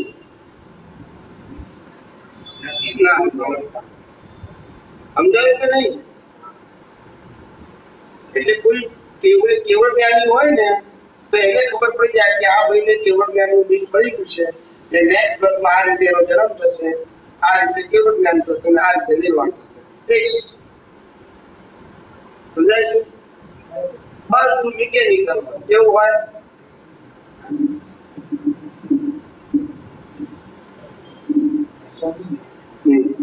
જે પાંચ પ્રકારના જ્ઞાન કીધા હમ. જ્ઞાન મતિ જ્ઞાન મનપર્ય જ્ઞાન અવધિ જ્ઞાન અને કેવળ એના ઉપર થોડો પ્રકાશ પાડવાનો પાછી પાંચ જ્ઞાન આપણે કોઈ પણ વસ્તુ સાંભળીએ અને વાંચીએ એને શ્રુત જ્ઞાન કહેવાય. શું કહેવાય?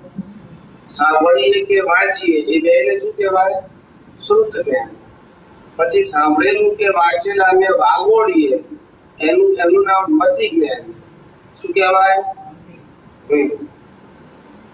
પછી મનોપ્રજ્ઞાન મનોપ્રજ્ઞાન તો ચોથું આવે, ત્રીજું અવધિ જ્ઞાન અવધિ જ્ઞાન એટલે અમુક લિમિટની રેડિયસનું આપણને બેઠા બેઠા દેખાય કે શું થઈ રહ્યું છે.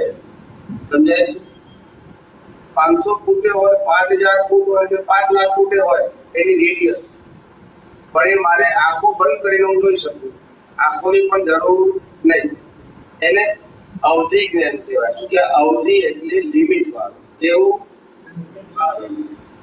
અને અનપર્ય જ્ઞાન એટલે કે મારા મનના પર્યાયો સહિત કોઈ પણ વ્યક્તિના મનના વિચારોને હું જાણી શકું એને મનપર્ય જ્ઞાન કહેવાય એ ચોથું જ્ઞાન દીક્ષા લે તારે ચોથું થાય.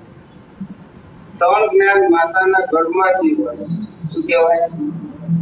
બધા તીર્થંકરોને અને કેવડીઓને ત્રણ જ્ઞાન માતાના ગર્ભમાંથી હોય. મતિ જ્ઞાન, શુદ્ધ જ્ઞાન અને અવધિ પછી દીક્ષા લે તારે મન ભરે જ્ઞાન. અને પછી એના ડ્યુ ડેટે કેવળ જ્ઞાન. કેવળ જ્ઞાન એટલે પછી આ જગતમાં કશું એને જોવા જાણવાનું બાકી રહ્યું નહીં. કેમ બાકી ના રહ્યું? કારણ કે પોતાનો આત્મા જે છે, એ સર્વ વ્યાપક થઈ ગયો. સર્વ વ્યાપક તો હતો, પણ આવરાયેલો હતો. શું હતો? તે આવરણો શું થઈ ગયા? મિથ્યા જ્ઞાન ને મિથ્યા દર્શનના આવરણો તૂટી ગયા. જેમ આ છે. ને આ રૂમની અંદર હજાર વોલ્ટ નો બલ્બ લગાવ્યો છે. કેટલા વોલ્ટ નો એ હજાર વોલ્ટ નો બલ્બ આખા રૂમ ને પ્રકાશિત કરી શકે કે ના કરી શકે? પણ એની ઉપર હું માટલું ઢાંકી દઉં તો? બલ્બ તો અંદર પ્રકાશિત છે, પણ માટલું ઢાંકી દઉં તો? પ્રકાશ બહાર આવે? પણ તેથી એ માટલાને અને બલ્બને કોઈ સીધો સંબંધ છે? નથી. ખાલી પ્રકાશ ઉપર આવરે આવરણ કર્યું. શું કર્યું? બાકી બલ્બે જુદો છે અને માટલું જુદું છે. સમજી ગયા કે નહીં? બલ્બની અંદર માટલું નથી. સમજાય છે? પણ બલ્બના પ્રકાશ કરવાની જે ક્ષમતા છે, એની ઉપર આ માટલાનું શું થઈ ગયું? આવરણ લાગી ગયું. એટલે એની ક્ષમતા હોવા છતાં પણ એ પ્રકાશ બહાર જતો ક્ષમતા તો છે. એની ક્ષમતા ઓછી થઈ ગઈ? બલ્બની આખા રૂમમાં પ્રકાશ કરવાની ક્ષમતા ઓછી થઈ ગઈ માટલું નાખ્યું એટલે. ના, એની ક્ષમતા તો એટલી ને એટલી છે. પણ આવરણને કારણે એ ક્ષમતા ઉપયોગમાં આવતી નથી. પણ બલ્બની સ્ટ્રેન્થ તો એની એ છે ને, તે ઘટી ગઈ? નથી હવે તો કરવાનું શું? તો કે છે કે આ માટલાને તોડી નાખો. એ આવરણ થઈ જાય, તો પ્રકાશ તો છે જ એમાં. લાવવાનો કે ક્ષમતા વધારવાની ખાલી શું કરવાનું છે? આવરણ દૂર કરવાનું છે. એમાં આત્મા આપણો બધાનો અનંત જ્ઞાન વાળો અનંત દર્શન વાળો અનંત સુખ વાળો અનંત શક્તિ વાળો ચૈતન્ય ઘન અને અવિનાશી છે. એને બનાવવાનો નથી. પણ આવરણ હોવાથી એની ક્ષમતા વ્યક્ત થતી નથી. ના સમજાયું? સમજાયું કે નહીં? હે? સ્પષ્ટ સમજાય છે એક ભાઈ હતા તો મને કે સાહેબ સ્વામી હું શુદ્ધ આત્મા છું શુદ્ધ આત્મા છું શુદ્ધ આત્મા છું. આખો દિવસ માળા ગણ્યા કર્યું. તો શુદ્ધાત્માનો અનુભવ ના થાય? કે ના પણ શુદ્ધાત્મા સિવાય કશું બોલતો જ નથી. તો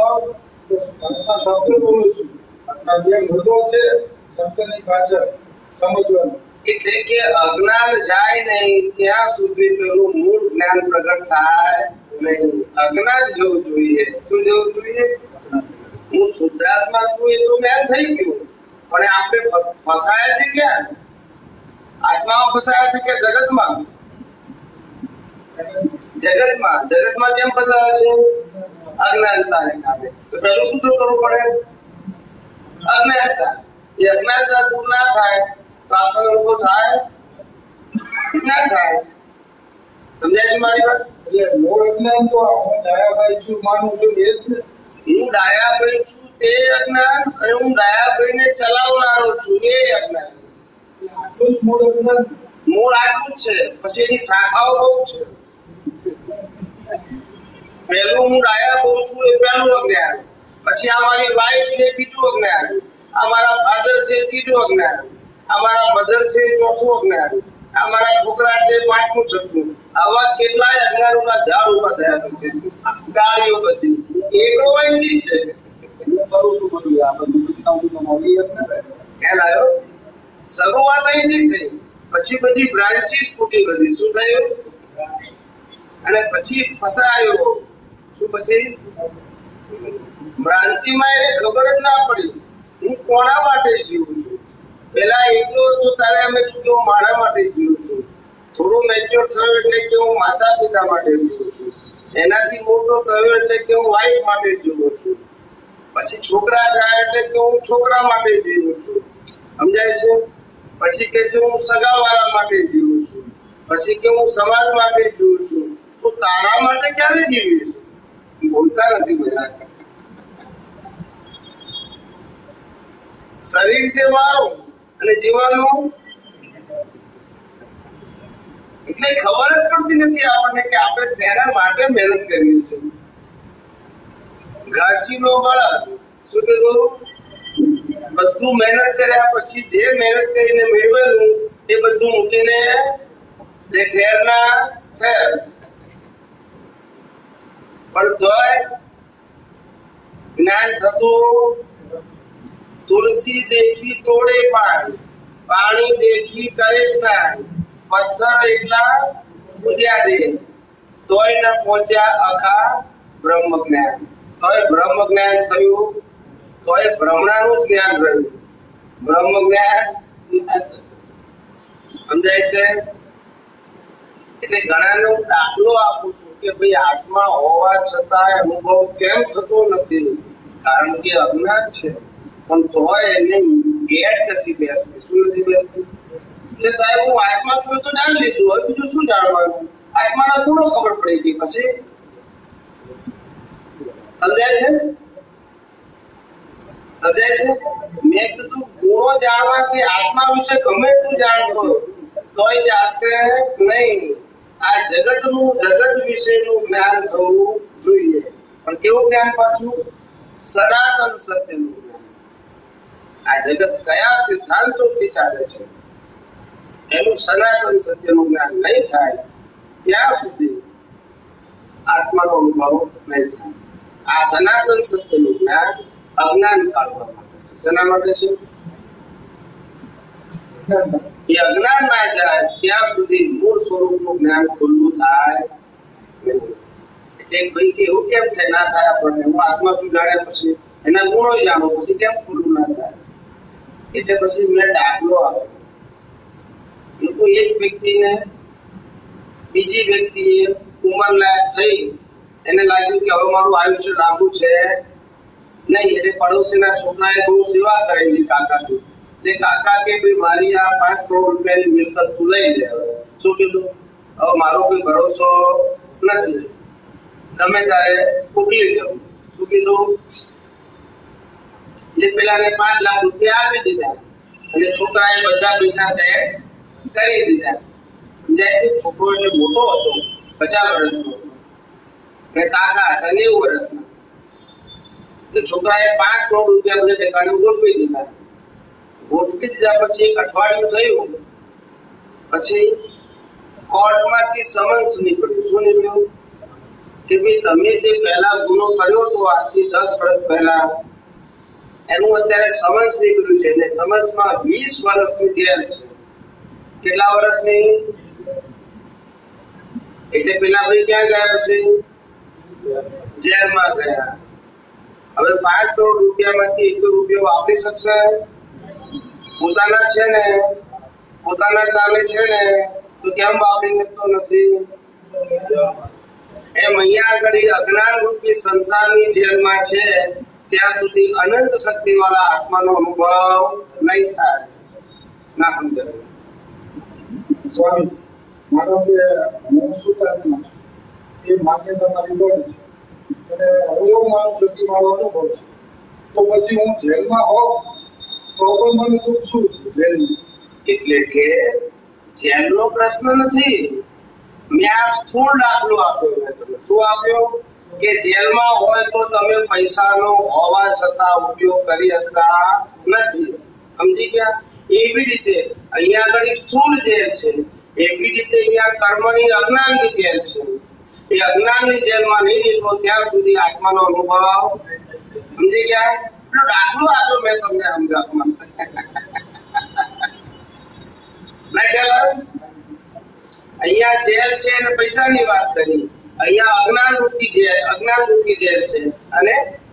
વાત કરી. સમજાય છે? અહીંયા અહીંયા સ્થૂળ જેલ અને પૈસાની વાત કરી. ને અહીંયા અજ્ઞાન રૂપી જેલ અને આત્માની વાત કરી. એટલે જ્યાં સુધી સ્થૂળ જેલ માંથી છૂટીએ નહીં ત્યાં સુધી પોતાના પૈસા પોતે વાપરી શકતો નથી.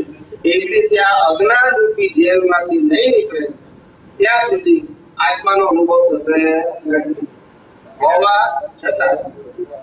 જ્ઞાન મળે તો પછી અજ્ઞાન વેળે નીકળી ન જાય. જ્ઞાન મળે તો અજ્ઞાન નીકળી ના જાય. જ્ઞાન એને કહેવાય કે અજ્ઞાન કાઢવાનો રસ્તો મળે.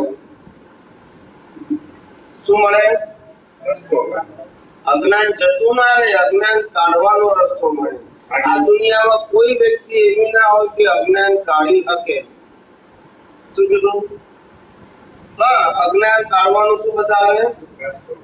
જો જો જ્ઞાની પુરુષ મારું અજ્ઞાન કાઢી જ નાખે, તો પછી પુરુષાર્થ શેના માટે કરવાનો?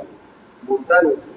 જ્ઞાન મળે એટલે પછી ધીમે ધીમે જ્ઞાન જતું રહીએ. પાછું ધીમે ધીમે આવ્યું. હમણાં કાઢી નાખ્યું. હવે ધીમે ધીમે ધીમે ધીમે વાક્યો ફર્યા કરે છે. આવા માને ને તો પેલા જ તમે બધું જ્ઞાન મળે એટલે નીકળી જાય ને. હવે બસ ધીમે ધીમે કન્સેશન આવ્યું તમે જુઓ તમારી ભાષા બદલાયા કરે છે. એટલે સિદ્ધાંત કે ખ્યાલ આવે, જ્ઞાની પુરુષે આપેલું જ્ઞાન, એ અજ્ઞાન કાઢવાનું જ્ઞાન છે, અજ્ઞાન કાઢી નાખેલું જ્ઞાન નથી. આ બધું સમજવાનું. મારું અજ્ઞાન કોઈ કાઢી શકે નહીં. મારે જ કાઢવું પડે. ફક્ત એ અજ્ઞાનને કાઢવાની જ્ઞાની પુરુષ દ્રષ્ટિ આપે. શું આપે? તીર્થંકરે કોઈનું અજ્ઞાન કાઢી શકે? તો તો કેવળ જ્ઞાન થઈ જાય ને પછી? એ કાઢી નાખતા હોય તો ના કાઢી નાખે કે લાવો કે તમારું જ્ઞાન કાઢી નાખો. એ કેવળ જ્ઞાન થઈ જાય? એવું થાય? આ ચમત્કાર થોડું છે કે? મેં અજ્ઞાનને જ્ઞાન રૂપે માનીને સ્વીકાર કરેલું અજ્ઞાન એ મારે જ અજ્ઞાન રૂપે સ્વીકારીને કાઢવું પડે જ્ઞાનથી તીર્થંકર છે સિંગર સ્વામી મોક્ષ આપી શકે કોઈ મોક્ષ આપી શકે નહીં. આપણે આપણું અજ્ઞાન જાય અને તીર્થંકરના દર્શન થાય, એટલે છેલ્લમ છેલ્લું અજ્ઞાનનું પડળ નીકળી જાય. એ આપે નહીં. એમની પાસે જઈએ અને આપણી પાસે અજ્ઞાન ભરપૂર ભરેલું હોય તો કોઈ ફેરફાર ના થાય. શું કીધું? એમના દર્શન થાય તોય ના થાય. અજ્ઞાન જવું જોઈએ. શું જવું જોઈએ? આપણે બધાએ મહાવીરની સભામાં બેસીને આવ્યા છું તો એવા ને એવા. હું મહાવીર શું કરે? એમને તો આપણને દ્રષ્ટિ આપી, પણ આપણો ઉપયોગ કરે તો ને. આ તો એક ભાઈ હતા ને, તે ગાંધીવાદી હતા. કેવા હતા? ગાંધીવાદી. અને એમનો છોકરો ડોક્ટર હતો અમેરિકામાં. એના છોકરાની વહુએ ડોક્ટર હતી. અને એમના ફાધર ગવર્મેન્ટમાં જોબ કરતા હતા. શું કરતા હતા? સાહીઠ વર્ષ થયા એટલે તો રિટાયર્ડ થઈ ગયા. પણ ગાંધીવાદી હોવાથી સેવામાં લાગી ગયા. શેમાં લાગી ગયા? ને છોકરા, છોકરોને બહુ દર વખતે કે બાપુજી તમે એકવાર તો અમેરિકા આવો. પણ પેલા ગાંધીવાદી હોવાથી જાય કે બેટા મારે અમેરિકાએ શું કરવું છે? મારે જીવન જીવવા માટે જે કઈ સંજોગો જોઈએ છે એ બધા જ અહીંયા અવેલેબલ છે. પછી ત્યાં શું કરવું? સમજાય છે? પછી જતા નતા. છેવટે બાપાની ઉંમર એસી વર્ષની થઈ. કેટલી થઈ? એટલે છોકરો કે બાપુજી એક વખત તો આવો. પછી તમારી ઉંમર જેમ વધશે તબિયત સારી નહીં રહે, તો પછી આવી શકશો નહીં. અત્યારે હાલતા ચાલતા છો, ત્યાં સુધી એક વાર આવો. દર વખતે કે, શું કીધું? દર વર્ષે કે. અને આ ના પાડે.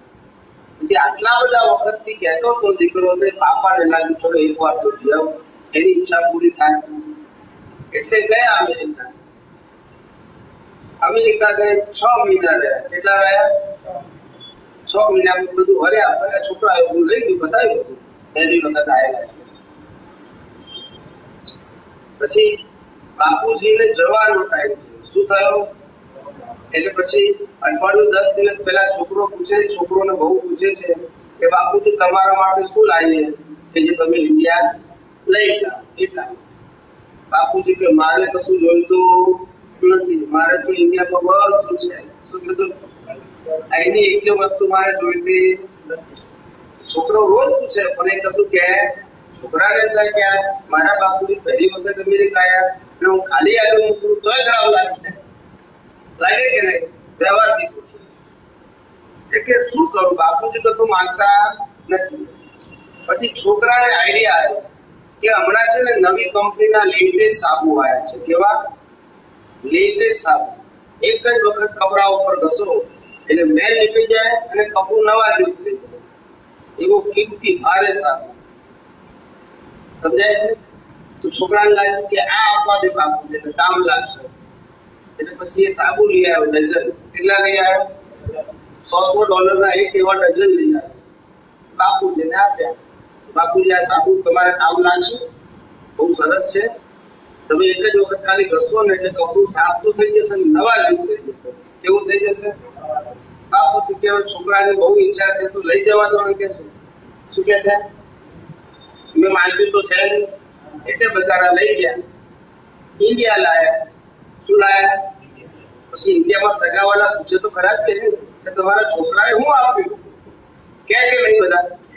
પહેલી વખત જાય એટલે પૂછે કે એટલે બાપુજી તો બધાને કે જો, આ સાબુ લાવે.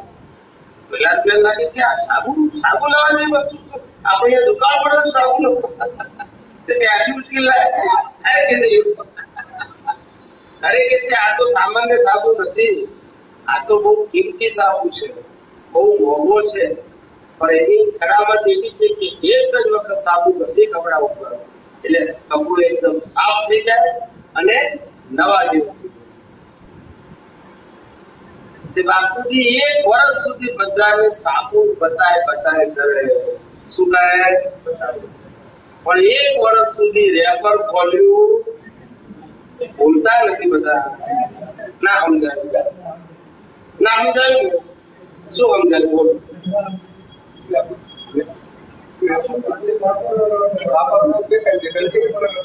એમ આપણે મને જ્ઞાન મળી ગયું જ્ઞાન મળી ગયું જ્ઞાન મળી ગયું રેપર નહીં બોલવાનું રેપર બોલે તો મળવાથી થઈ ગયા અને જ્ઞાન મળવાનો ઉપયોગ તો કર તો અનુભવ થાય મળવાથી થઈ જાય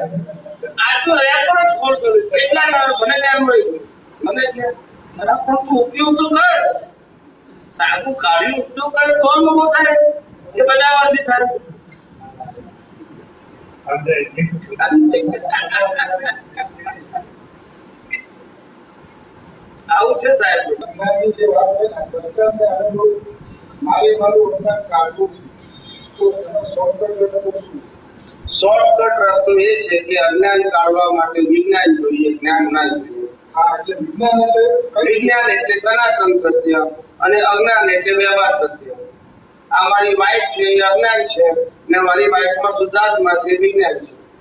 વિજ્ઞાન એટલે કાયમી સત્ય. વાઈફ છે એ ટેમ્પરરી સત્ય.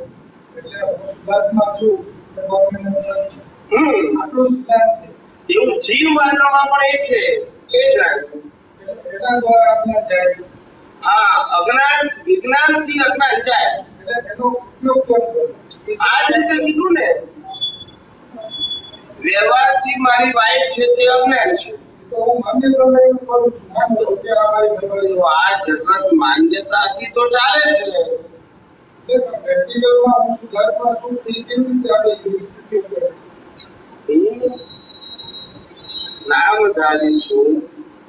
એ પણ માન્યતા છે.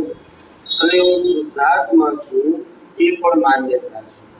પેલી રોંગ બિલીફ છે, આ રાઈટ બિલીફ પણ બે બિલીફ જ છે. અને આત્મા બે બિલીફથી જુદો છે. પણ આ તો રોંગ બિલીફ કાઢવા માટે રાઈટ બિલીફ છે. પણ રાઈટ બિલીફ એ આત્મા નથી અને રોંગ બિલીફ એ દેહ નથી. ખાલી બિલીફ છે. એટલે જ્યાં સુધી મારી દ્રષ્ટિમાં રોંગ બિલીફ છે ત્યાં સુધી રાગ દ્વેષ, ક્રોધ માનમાં આ બધું થયા કરશે એટલે જન્મ મરણના ચક્કરમાં ફર્યા કરવાનું. હવે મને રાઈટ બિલીફ બને તો રોંગ બિલીફ ખલાસ થતી જાય. એટલે રોંગ બિલીફ ખલાસ થઈ જાય રાઈટ બિલીફથી એટલે એક દિવસ એવો આવે કે બધી રોંગ બિલીફો ખલાસ થઈ જાય. એટલે પ્રતિષ્ઠિત આત્માનું અસ્તિત્વ રહે નહીં. પછી શરીરને આત્મા રહે. શું રહે? શરીરને આત્મા બે રહે. ત્યારે કેવળ જ્ઞાનનું બીજ પડે શું પડે અજ્ઞાન કયું માટે અને બીજનું ફળ બર્થમાં મળે ક્યારે મળે? કોઈ પણ વસ્તુનું ફળ ક્યારે મળે? સમજાય એટલે કેવળ જ્ઞાનનું બીજ પડે એમાં પાપ પુણ્યની જરૂર નહીં. બાકીના બધા જ કર્મ બાંધવા માટે પાપ પુણ્ય જોઈએ. એ કેવળ જ્ઞાન જેવું છે કે જેના માટે પાપ પુણ્યની જરૂર નથી. કારણ કે પોતાના સ્વરૂપની અનુભૂતિ કરવાની છે. આ જગતની કોઈ વિનાશી વસ્તુની પ્રાપ્તિ કરવાની નથી. એની પ્રાપ્તિ કરવાની હોય તો પાપ પુણ્ય આ તો બધા સિદ્ધાંતો, વિતરાગોના સિદ્ધાંતો છે. સ્પષ્ટ ભેદને દેહ આત્મા છૂટા પડી ગયા. દેહ દેહના સ્વભાવમાં, આત્મા આત્માના સ્વભાવમાં અને વચ્ચે પ્રતિષ્ઠિત આત્મા ના હોય. શિવને સ્વામી દર્શન થાય એવું કરું એવું કાંઈ નહીં ને. દર્શન થાય ને પોતાની મૂર્તિમાં થાય. સ્પષ્ટ વેદન થાય હોય તો થાય જ ને. અત્યારે ના થાય. સ્પષ્ટ તો થાય. એ સ્પષ્ટ વેદ એટલે કેવળ જ્ઞાન જ કહેવાય. સ્પષ્ટ વેદન એટલે કેવળ જ્ઞાન કહેવાય પણ એ કેવળ જ્ઞાન અડતાલીસ મિનિટ ના આવે. સમયનો વિક્ષેપ પડે. શું પડે? કારણ કે ડ્યુ ડેટ બાકી છે. પુરુષાર્થ બાકી નથી. શું બાકી છે? સમજાય મારા લગ્ન પચીસ વર્ષે થવાના હોય ને આજે મને પંદર વર્ષ થયા હોય તો મને વાઈફ મળતી નથી એવું કહેવાય કે સમય બાકી નથી એવું કહેવાય? ભૂલતા નથી એમ મારું કેવળ જ્ઞાન ચાલીસ વર્ષે થવાનું હોય ને આજે મને પચીસ વર્ષ થયા હોય એટલે મને સ્પષ્ટ વેદન છે પણ કેવળ જ્ઞાન નથી. તો એ ડ્યુ ડેટ બાકી છે કે પુરુષાર્થ બાકી છે? બરાબર સમજાય છે? એટલે જેની ડ્યુ ડેટ બાકી હોય પુરુષાર્થ ના હોય તો પ્રતિષ્ઠા આપવાની જરૂર પડે? ના પડે. સ્વામી માનો કે સામાયિક છે સામાયિક. એમાં મારા જે દોષો છે એ અમુક યુટ્યુબમાં પ્લસ આવવાના પણ હું જોરદાર સામાયિક કરું. તો સમય મર્યાદામાં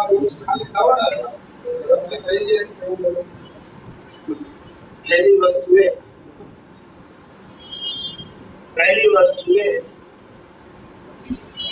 કે અત્યારના સમયની અંદર શું કહું છું? વર્તમાન સમયમાં પાછલા દોષો જોવાની જરૂર નથી. શું કીધું? આજના જ દોષો શું સાઇડ પ્રતિક્રમણ કરો. અને પાછલો કોઈ દોષ આજે દેખાય તો શું ઓન સાઇડ કરો. શું કીધું મેં? પહેલા વર્તમાનના દોષ જોવાના અને જોવાના. અને વર્તમાનમાં કોઈ પાછલો દોષ દેખાય તો જોઈ નાખવાનો. પણ આપણે પાછળ જવાનું નહીં. સમજી ગયા? પાછળ જશો, પછી ડિપ્રેશન આવશે. શું આવશે? જે પાંચ પાંચ પ્રતિક્રમણ સામાયિક કરે છે એને પૂછી આવજો. લોકોને વિજ્ઞાન ખબર નથી ને? શું ખબર નથી? આ તો દસ વર્ષની ઉંમરે ભૂલ કરી છે ને અત્યારે થયા પચાસ વર્ષ અને જ્ઞાન લીધે થયા વીસ વર્ષ.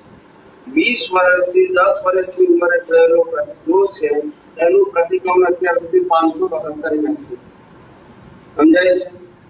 હવે એક દોષનું પ્રતિક્રમણ પાંચસો વખત તો એક લાખ દોષનું પ્રતિક્રમણ કેટલી વખત થાય?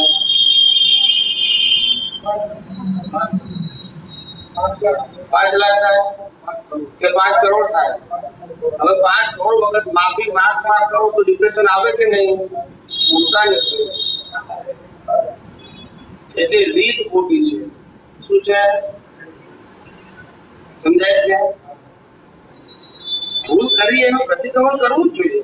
નવી શૂટ ઓન સાઇડ કરો? તમારા માટે નવી છે, હું તો આ પચીસ વર્ષથી બોલું છું.